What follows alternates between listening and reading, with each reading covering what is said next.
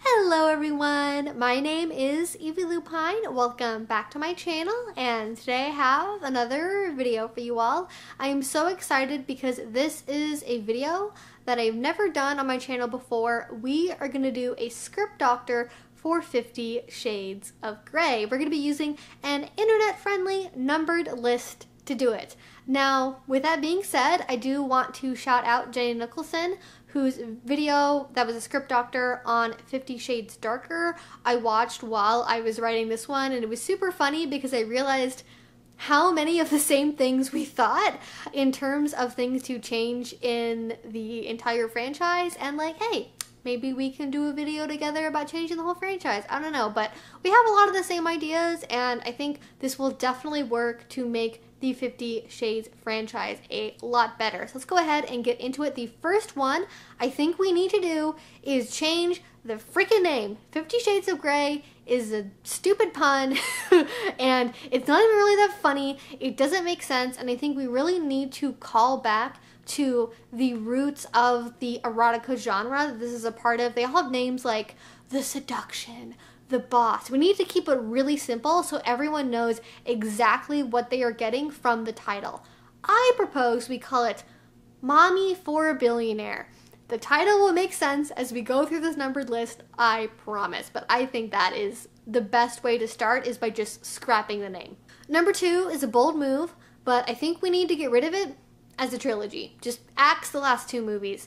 It was started as a fan fiction. It's not really that well structured, and I think in order to really make this franchise the best it could possibly be, we have to treat it as though the first movie is the only movie and just set it up really strong to stand alone as its own work. Number three is recasting Jamie Dornan. Somehow Jenny and I have the exact same idea about this because we both know exactly who Christian Grey should be played by. Apparently, Jamie Dornan played a serial killer in one of the last series he was in before this franchise, and if they would have leaned into the whole kind of creepy erotic thriller aspect of this series, I think that could have worked, but he does not work for Fifty Shades as it is now. He does not work for it in my rewrite. So we are going to have Henry Cavill instead. Okay, hear me out. He has this wonderful sort of like boyish all-American charm about him despite being from like the Isle of Jersey or somewhere. And I think he can really flirt that line between like aggressively attractive male model like CEO boss type and then also kind of like again that boyish all-American kind of like quarterback football player charm. I mean, the man played Superman. What else could you possibly want from him, okay? I think it makes total sense for what we're going to be doing with this franchise which is number four. It's not about Christian Grey being the Dom anymore. I know, okay. This is where we get into the really radical retelling of Fifty Shades of Grey. It's basically not even going to be the same franchise anymore, to be honest. And the reason for this is I think we see over and over again in the franchise that what Christian needs, what he actually really wants, is somebody to take care of him, right? He has a very traumatic childhood, he was adopted, you know, he needs somebody to kind of play that loving caretaker role for him. And so, what I think would be way more interesting and something that none of the mainstream movies featuring BDSM have done before is that we have him look for a mommy. Okay, that's where we get the title sequence, right? Mommy for a billionaire. This is where it all comes in, right? Because this is the great tool of story writing. You know, it's internal conflict. He thinks he has to be a Dom because of how he was socialized, as what he was told he needed to be, but his secret desire, his want, is for mommy and he has conflict about what he thinks he has to be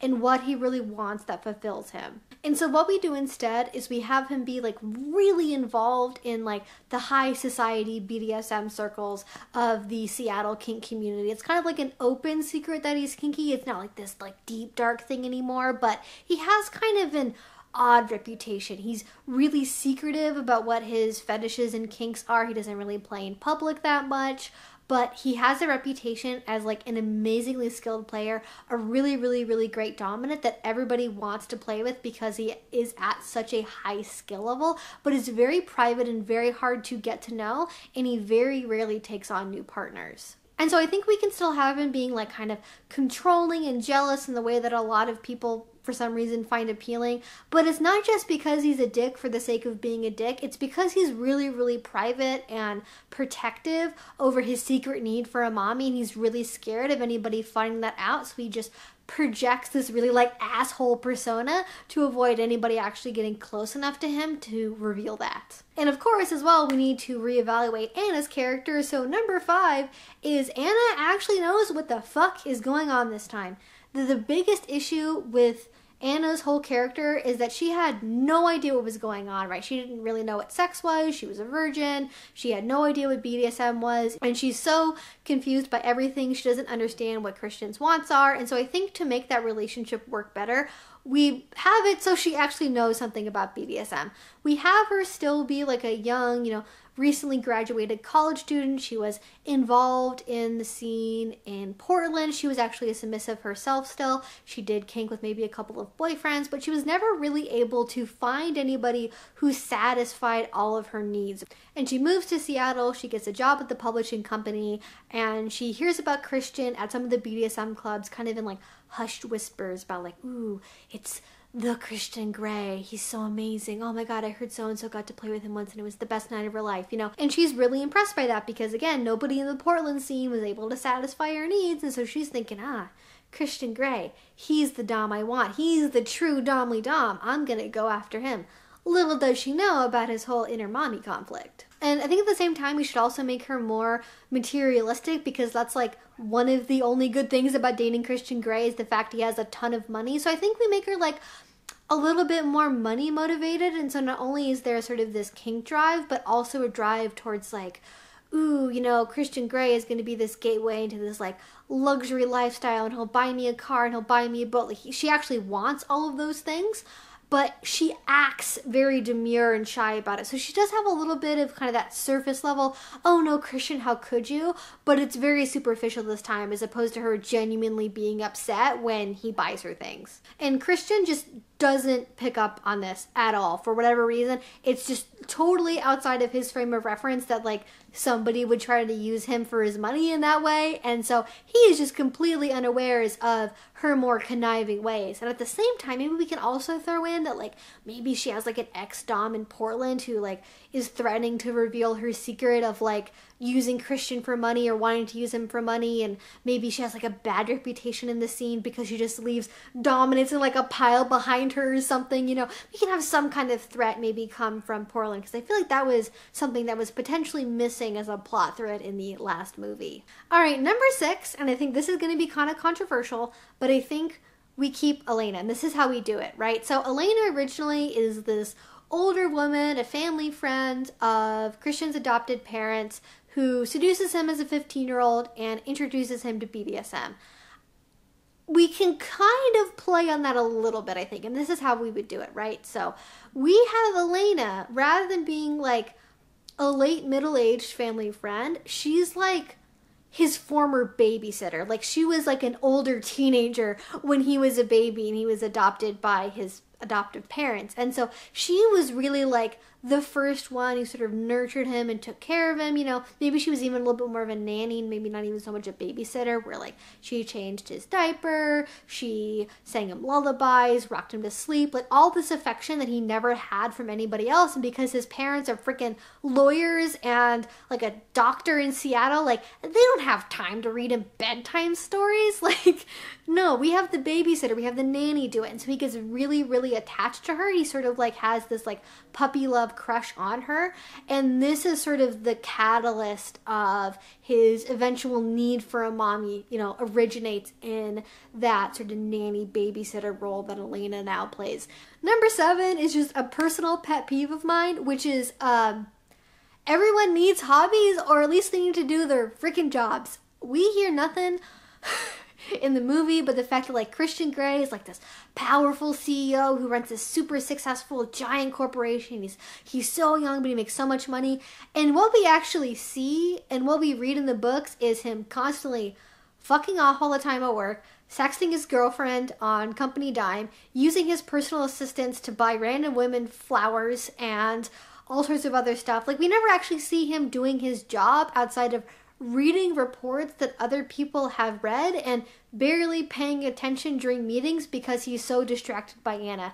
I think what we need to do instead is we have Christian be like an actual complete workaholic. Not just like, oh man, I work so hard. I was at the office for like five hours yesterday. Like, we have him hardcore be super, super driven and dedicated at work. And that can be a source of conflict between Ana and Christian because she wants to get closer to him. He's unavailable. He's busy all the time. Maybe he cancels plans for work things as opposed to the other way around, like it is in the original Fifty Shades of Grey series. And he sort of uses work as a crutch so he doesn't have to get close to people. He's kind of more of that avoidant personality type where work is a convenient shield that keeps him protected from people getting too close. And I think as well, we should have him be into some hobbies. I think he should be into Minecraft. I think that would be hilarious and brilliant. And if we are going in the direction of him needing a mommy, of him being a little and having these sorts of interests, Minecraft makes total sense. So he just does work and Minecraft, and that's all he wants, but he also wants a mommy, so he has to find a way to kind of fit all of that in there. All right, number eight is we have to change the conflict. Oh my god, the conflict in the original series was just it's, it's a whole pile of nothing. The conflict is about like Christian needs this, he needs this, and they fight about the contract, and they fight about doing BDSM, and they fight about having a romantic relationship. Boring. Get rid of it. Over. Done. Not even a problem in this movie whatsoever. I think what we do instead is we have the conflict again. We have it centered around Christian thinking he should be a dominant, but really needing a mommy, having that internal conflict. Having the conflict between Ana and Christian being that he's a workaholic and he won't let her get close. Her secretly wanting to use him for money, and all of that kind of coming to a head together over the course of this new movie that we're writing. And maybe this conflict is even harder for him because maybe in the past when he was at Harvard, because he actually graduated this time, he didn't just drop out to start a company. Maybe when he was at Harvard, he had like a really, really close girlfriend because Harvard actually does have like a club, like a munch club at their school for kinky people. So he could absolutely meet somebody kinky at Harvard. All right, my camera battery died. Where were we? Ah, yes, Harvard. So we have him finish going to Harvard instead of dropping out. And while he's there, he has his first long term girlfriend, and they're both kinky because, as it turns out, Harvard does actually have a club on campus for kinky people. Love to see it. That would be a great way to meet some fellow like minded BDSMers. And while he's in that relationship with her, they start out in sort of that more traditional DS dynamic, and then he starts to kind of reveal more of his feelings of wanting to be taken care of and that kind of thing and he tries to kind of frame it in a way where it's like, oh, this is like a service to me, right? And she totally picks up on it and is like, you know, I don't want to be your mommy. I don't want to take care of you. That's gross. That's disgusting. That's not how dominant should be. Isn't how men should be. Like some really just like nasty, dismissive stuff. And because of that relationship, that just makes him feel even more like closed off and protective, but maybe over the course of their relationship, Ana starts to pick up on some of those signs. She starts to kind of pick up on the fact that he's not really being honest about what he truly is because in their relationship, he does act like a dominant. He's not treating her like future mommy material. He kind of has that conflict inside, but he definitely doesn't want it to leak out, but Ana picks up on it anyways. And maybe just to make things even more interesting, maybe Ana goes into the relationship being like, I'm not gonna get attached. This is just about BDSM. This is about money. It's not about love. It's not about any of that. And maybe over the course of time, when she starts to see that vulnerability, she starts to fall for him too. Now, number nine, of course, is um, how do we actually have this mommy thing play out? Because I mentioned it a couple times, but I haven't really gone into detail about it, right? We know from the previous movies that he's obviously this big CEO billionaire. He loves toys, right? He loves planes, he loves cars, he loves anything with a motor in it, essentially. He loves helicopters. And I think we can totally lean into that. Those are kind of like his big extension of his kind of little preferences, right? Like maybe he collects like uh, antique Hot Wheels, or maybe he is really into Legos, he likes building things. And actually, we did see in one of the movies that Ana buys him a helicopter model as a present, and he is totally into it. He loves it. And so I think we can also have that be in this movie where he's super into like building models and has like a big, like a toy train thing. And actually, ooh, both Jenny and I thought about this. Actually, everybody thought about this. Everybody thought about Christian Grey and trains, okay? It just it makes sense. It makes sense. So, we don't see him interact with trains at all in the original franchise, and I think we have to make that a thing here. There is an excellent bit from the Late Late Show where the Red Room is actually like a big like model train station and it has all of these like antique train parts and everything else. And maybe how we could have that set up is like he does actually have like the red room he has now because honestly, the red room in the movie is pretty dope. Not all the furniture makes sense to me, but it's definitely very high class. It's very luxurious. I think what we do is we have a bookshelf like on the back, and he's kind of like a cartoon villain because like kid little brain, you know. And maybe there's like a a book you pull out of the shelf, or like one you open up and there's like a button inside, and if you press that, it like flips around, and that reveals like his secret little room, right? Because again, he's not very open about it. He's literally a closeted little. So we have it be basically in a closet. And he has this big whole secret room where he has all of his collector's Hot Wheels and his model train set and everything else that he collects that's little related, you know. And maybe Ana like finds it by mistake when she's like cleaning the house or maybe they get an argument and she storms off and is like throwing books off the bookshelf and then she picks up the wrong one by accident. Oh no she pressed the button. Ah my secrets are revealed. Like it can definitely be really cheesy. This is like an erotica romance novel. Like it's not necessarily going to make the most sense but it is going to be a wild ride and when she finds it, that can be like a really big conflict where she's like, oh my God, I can't believe you lied to me. I don't understand this. What is this? You know, it just ends up in like a big fight, right? Because people love the fight, people love seeing them fighting. For some reason, it doesn't make sense to me. But that can be another source of conflict where like, he's like, Ana, you don't understand me. And she's like, I don't know what I'm supposed to be understanding. What is this? Why did you lie to me, Christian? This isn't what I wanted in our relationship. I don't understand. You know, they just go back and forth, right? And then they end up maybe that's where like they have a break for a couple days where like Christian isn't sure what happens, he feels rejected, Ana's not sure what happened, she doesn't know why he lied, like, and eventually they end up getting back together and maybe they, you know, tell the story about the ex-girlfriend at Harvard and blah blah blah. And I think leading up to that point, we could also very easily like weave in a couple of scenes where like he as the dominant has kind of convinced himself that it's like okay to have Ana do kind of more caretakering mommy type things because it's service submission. She's helping me from a place of service. It's not a mommy thing. She's not my caretaker. While she's like scrubbing him in the bathtub and reading him a bedtime story, you know, that kind of stuff. Because we have seen, again, in the existing movies, they have things where she feeds him ice cream. We have scenes where they bathe each other, right? We can just take those same scenes, put them in this movie, and then change them just a little bit to give them more of that DS flavor versus like kind of bland sex scene, you know? Now, number 10, I already mentioned this, but we absolutely have to keep the model helicopter gift. The whole reason I'm even rewriting this as a mommy little story is because those things are already there in the text, okay? It just, it's there, it's plain as day. It just needs to be amped up like two more degrees for it to make complete sense. He says things like, I don't know if I should spank you or worship at your feet, right? Or that really pivotal moment when he like slumps down on his knees and kneels before her all of those things could be things that we put in this movie that we again we just recontextualize them a little bit. We amp up the bdsm flavor a little bit. Again get that flavor knob turn it up and that would absolutely work for making it seem more like he's really the one who wants to submit as opposed to being the dominant. And I really think the key to this is having that right performance from people with that sort of boyish charm like Henry Cavill. I think we can actually even keep uh, Dakota Johnson if we want to, assuming she doesn't get drunk on set because she doesn't hate the directors and, and hate everyone else there the whole time.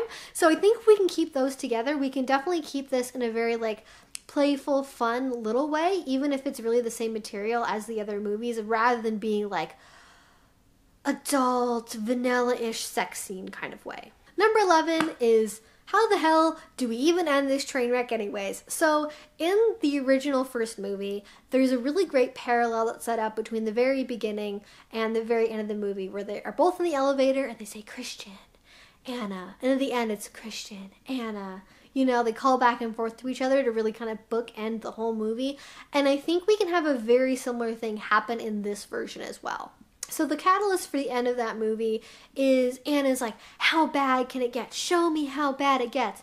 And then he shows her and then she gets really upset about it and is like you're a monster. I don't understand this. I'm leaving. Bye. And then she runs away. And i think instead of that what we do is that same scene happens but rather than it being like ana not understanding the bdsm thing it's about her testing him to see if he's Dom enough for her to be like, oh, how bad can you actually do this? Can you meet the level of my masochism? Can you actually meet my needs? And how we have this scene go instead is that Christian can't actually keep up with her. She's too much of a masochist for him because by that point, he's gotten more emotionally attached to her. He's kind of started to visualize her more as a mommy or a dominant figure for him. And so he mentally cannot hit her as hard as she wants him to. And so he actually has a little bit of a breakdown during the scene when she's kind of bratting a little bit and trying to egg him on and be like, Is that all you've got? And he's like, Yeah, that's all I've got. I can't hit you. I'm so sorry. And like, she actually has to stop and comfort him. And they end the scene kind of on a point of like him finally confessing that, like, I can't hit you uh, because I see you as my mommy, or something along those lines, where he finally has this really deep emotional confession about who he really is and how he sees their relationship and the direction he wants it to go in. And she can't handle that. She doesn't know how to take that. She's like, I don't know if I can give you what you want that doesn't sound the kind of relationship I can be in. And then she decides to leave after that. And it's a very like emotional, tearful thing where they're both kind of sad about leaving the relationship because Christian really was starting to care for her. Ana was starting to care for him as well, despite the fact she was really originally in it for the money and for getting her BDSM needs met. And I think that would just be a good way to end it based on the material that we already have kind of in the franchise and would be very satisfying. And those are all the suggestions that I have for the first of the Fifty Shades franchise. Again, I want to give a shout out to Jenny Nicholson and her Fifty Shades Darker Script Doctor because it was so hilarious and it was super funny to see how many things that we had kind of similar ideas about. If you would like me to do this for the other movies or a different franchise, please let me know your comments, thoughts, questions, other additions. You can go ahead and leave down in the comment section below. If you enjoyed this, if you want to see more from me, please do subscribe. I make videos twice a week about all sorts of kink and BDSM related topics. And finally, if you want to support what I do, the best way you can do that is through Patreon. A link to that will be down in the description box below. And if you do already support me over there, thank you so, so much. It means the absolute world to me. And until I see you guys next time, I hope you have a great rest of your day and a great rest of your week. Bye-bye.